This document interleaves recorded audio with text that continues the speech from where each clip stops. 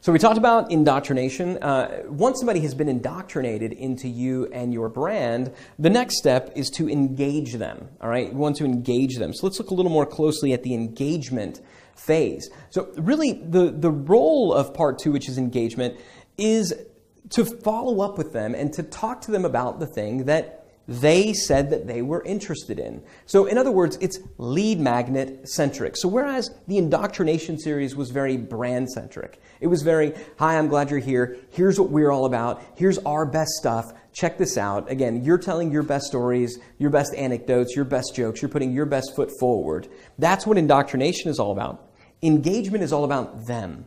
Engagement is all about talking about the thing that they are interested in. Now, that brings up a logical next question, which is how do you know what they are interested in? And the answer is you know it from the lead magnet that they opted into. So let's go all the way back to the module and the lessons on lead magnets. If you recall, the big point there, the big overarching theme of that was specificity, having a very, very, very specific lead magnet. So if I'm a golf instructor and I put out a lead magnet on how to break 90, then I can talk to these people about how to break 90. Or if I put out a lead magnet on how to drive the ball further, then I know that they want to learn how to drive the ball further. They're not maybe not into putting. Okay? So in all these things, the lead magnet, the topic of the lead magnet, in, it, it informs what you should be talking about in your engagement series. And that's how you craft an effective engagement series. That's how you craft an effective follow up. That's how you know that you're talking about the thing that they're interested in. It's because they told you when they signed up for the lead magnet. But none of this works if you don't have a specific lead magnet. So hopefully, this is bringing all this uh, full circle. Now, the important thing is that this is where the money is made, right?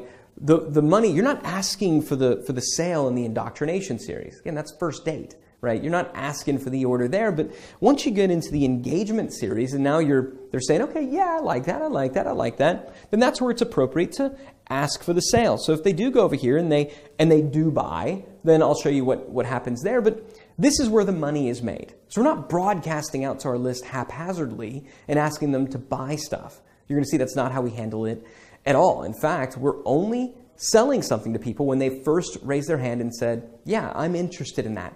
Tell me more. And it's this process of, of, in, of the engagement series that allows us to uh, make a lot more sales by, by actually emailing our list less often because we're only emailing the folks who are already engaged. And I'll show you later on how we do exactly that. Now, one of the big questions that everybody asks is how long should my engagement series be? Well, I'm going to show you some examples of some engagement campaigns and series in, in, in some, in, in some of the next videos. But the long and short of it is, I didn't mean to say long and short in referring to that. That was not an intentional pun.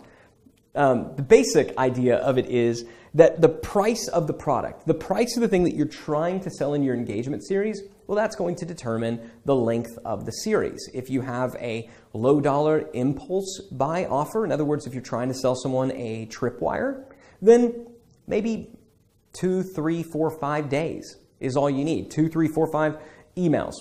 You know, maybe that's that's really all you need. Because at that point, it's an impulse buy, right? If they're not interested, then they're not interested. Mailing them more often about trying to buy a pack of gum, they just don't want the gum. Okay? Now, if it's a mid range offer, you know, a core offer, something that is a little bit more expensive, then yeah, maybe, you know, five, seven, ten days might be appropriate. If it's a profit maximizer and, and, and you really need to nurture that and, and, and encourage them and move them along slowly, then you might be talking seven, you know, 10, 14, maybe 21 days. We typically, though, as a general rule, do not have an engagement series go out longer than 30 days. And you're going to see why when we get to segmentation. But for the most part, we're talking to them about a particular topic, a particular topic, and we're asking them to take an action. If we've been talking to them about that topic for two, three, maybe even up to four weeks, and they still haven't taken the desired action, then they're probably just not as interested in the topic as we hoped they were. And the best thing that we can do is to stop talking about that and start talking